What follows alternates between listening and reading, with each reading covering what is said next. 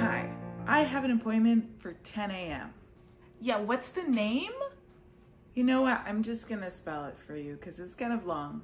V is in Valentine, A I D is in Douglas, Y A N as in Nancy, A T H A N as in Nancy. Wow, that is a doozy.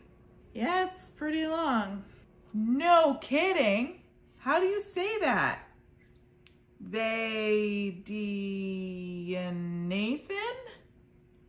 They D Nathan? Sure. Is the doctor ready?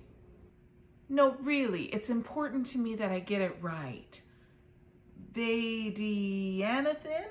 It's really important to me that I get out of here by 1045, so yes, that is close enough. Vaidia Nathan? Am I getting close? The Vaidia Nathan? Is that Swedish? No, it's South Indian. Is the doctor ready? Oh, like the Navajo. You know, I think they prefer the term Native American. Or better yet, you're supposed to use the name of the tribe that the person is actually from, like the Navajo. I don't think people like us are supposed to use the term Indian. They find it offensive. Wait a minute. Are you white guilting me about my last name? Is that what's going on here? Maybe. I meant that my last name is a South Indian name, like from India, but the southern part of India. South Indian. Oh my gosh, are you from India? No.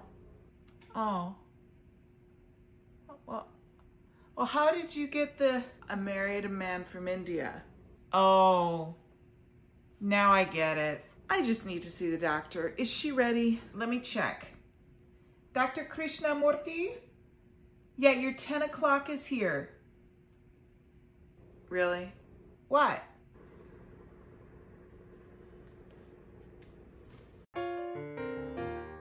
Hey guys, we're back. We missed you. The baby is thriving. We are very tired, but we're glad to be back. Remember to like, share, and subscribe. Please turn on the notification bell and hit the like button, the thumbs up. So glad you're here, and I'll see you in the next one.